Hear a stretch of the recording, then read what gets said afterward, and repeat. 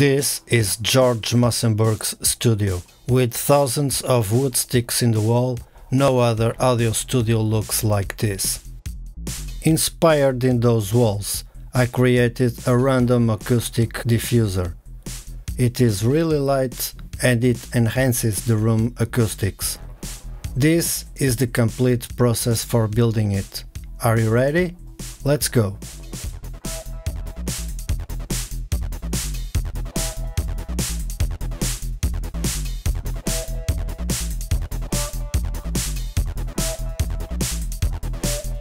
Hello and welcome to this video.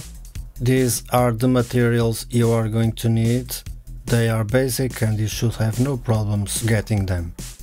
So why using cork? Well, I'm from Porto, Portugal. This is the land of port wine and we use wine and cork for centuries in this country so I was inspired in that and it is a nice material, light and it has great acoustic properties. You can do this in two different ways, one cheap and one more expensive. The cheap is to go to a local restaurant and ask them to keep the cork from the wine bottles for you and then you collect them and you get them for free. The expensive is to buy new pieces of cork, they are unbranded and they are all the same size and width.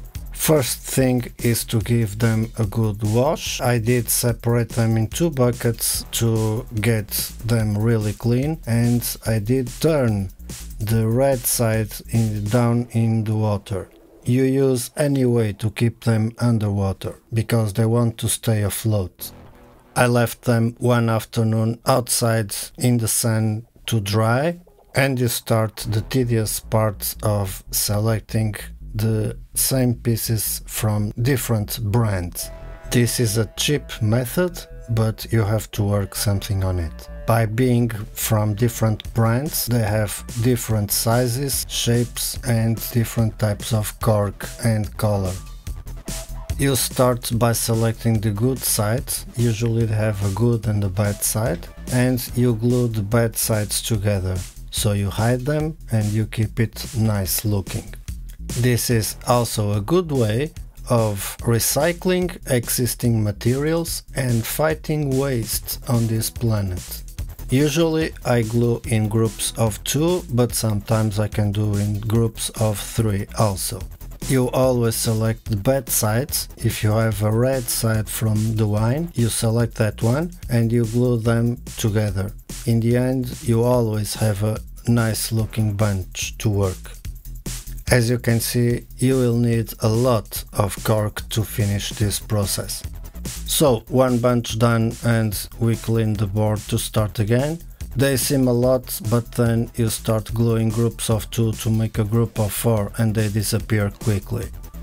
By working with new pieces of cork, work is much easier because they are the same size and width. Here you can see the new bits versus the worst used bits I had and again you glue the worst sides together. Even being new they have a good and a bad side usually. So you select it apply some pressure for two or three seconds and done in total all new pieces of cork in this process cost me about 50 euros remember used pieces you can get them for free working with new pieces is also much faster because they are consistent. You always allow two or three hours for proper uh, drying, then it's very difficult to separate them. Of course you can do it, but you will damage them. Notice that I already had these pieces of cork and they are more yellowish than the new ones I'm going to get later. Be aware if you have cats because they like to throw the pieces of cork down they also like to lie down on the board, so you are advised.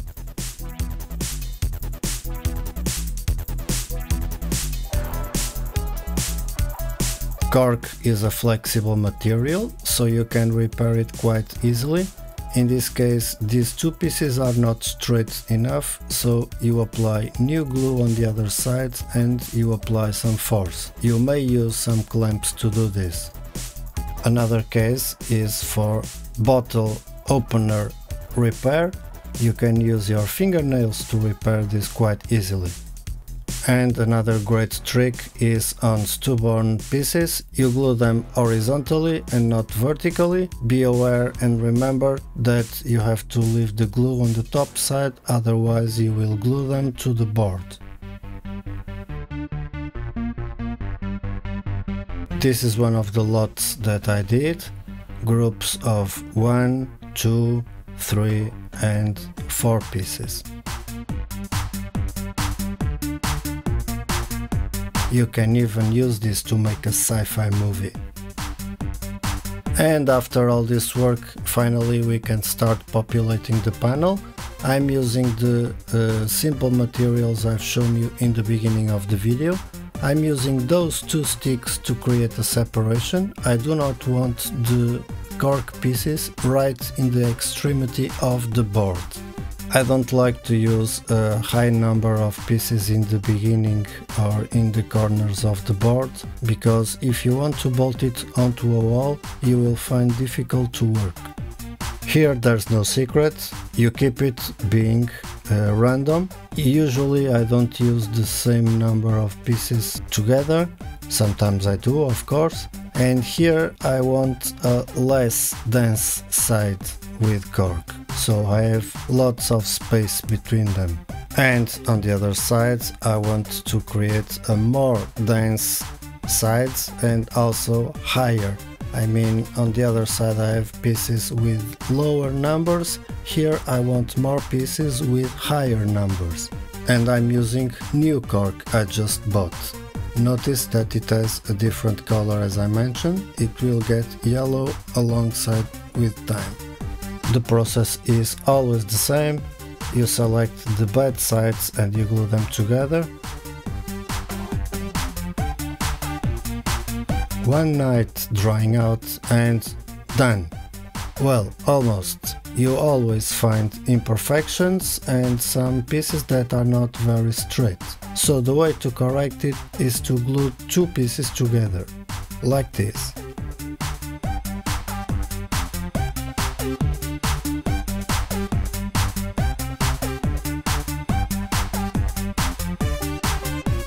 And even new pieces will need correction. You use a toothpick to control the glue. So finally work is done. Well, not so much because I want to glue these four pieces together. I am never happy with the result and on the next day you can remove all the rubber elastics and done. Well, again, I'm going to repair that one.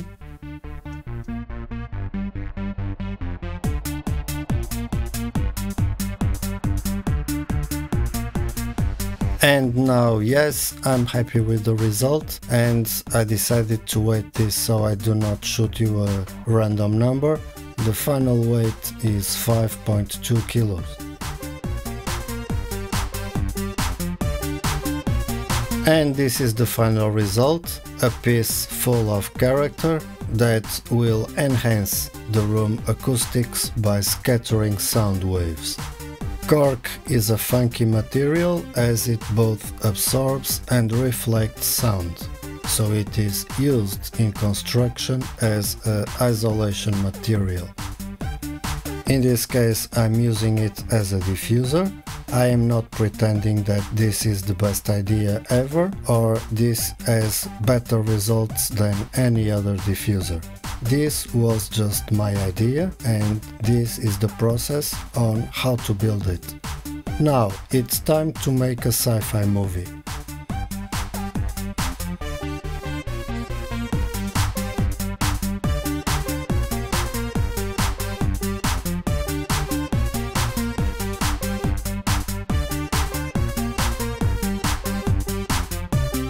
Built several panels, most of them are bolted directly onto the wall.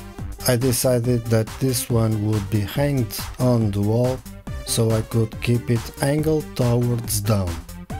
I have another one that is here shown on the right that is placed with hinges so I can angle it whenever I want.